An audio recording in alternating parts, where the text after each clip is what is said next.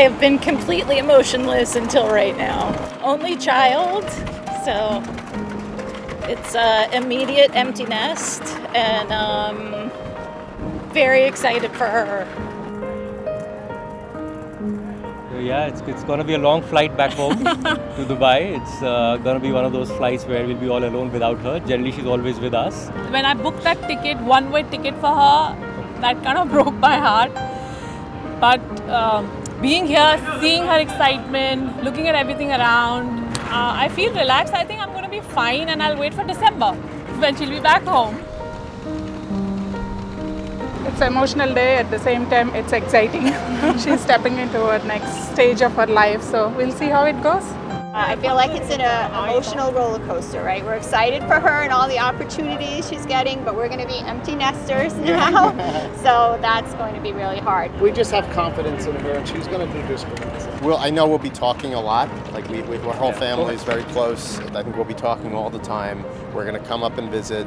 We're going to hear about his journey here and be a part of it. It's definitely going to be different not having him around every day. She's a kind of annoying, so I'm gonna miss that. I'm at home, like asking me, mommy, what I have to eat? So I'm hungry all the time. I will miss her because we do gym together, we do a lot of things together, so I will miss her doing that with me. And uh, well, I'll miss her overall. I'm excited for her to be here, and it's a beautiful city.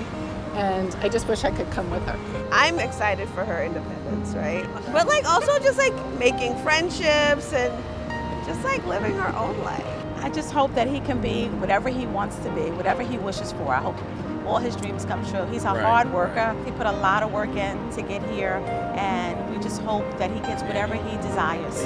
Thank you so much for taking care of me for all, all 18 years. I know it was a lot of work on you, and I'll definitely, definitely take quite some time to uh, get used to living on my own because I rely on you so much. I'm gonna miss how bright you are, Mom, because like there are days when I get home and you're always like a sunshine of light, and I think your energy was like like really invigorated me, and now like not having that when I'm here in Boston, I'm gonna miss that.